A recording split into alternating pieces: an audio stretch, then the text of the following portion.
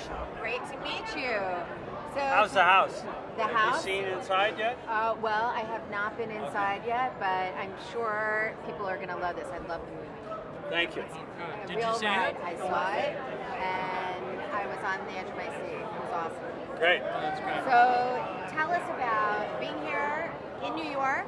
I mean, the Bourne films have a special relationship to New York. Well, it's And very exciting. It's Yeah. very exciting to be here because um, our writer director is actually lives in New York, and he's sort of been the architect of the Bourne series, Tony Gilroy.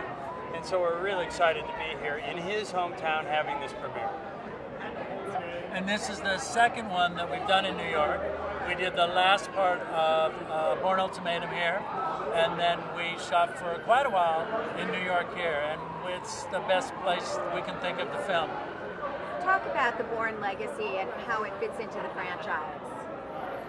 Well, it really is the legacy because what we're seeing is the, the movie takes place at the same time the last movie took place, but we're seeing the effects that the last movie had on the bigger picture. So you're seeing sort of what chaos Bourne's return here to New York has had on the rest of these programs that are sort of black ops. So we're seeing this expanded world. And talk about Jeremy Renner's character, Aaron Cross, and what he's going through in this uh, in the story. Well, Jeremy's part of another program called Outcome. Uh, there are a lot of these programs, and they're all sort of on their own.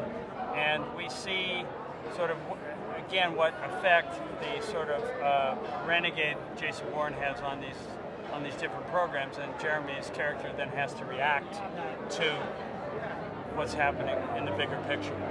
See, Jer- Jeremy's character in this movie is he's a, a relatively innocent, you know, intelligence agent who's involved in a program that the ripple effect of what Jason Bourne is doing in the last movie completely upends his program, and so it's all of the forces that come to bear on him and how he struggles to keep himself alive. And also, there's a woman, Rachel Weisz's character, who's instrumental in keeping him alive.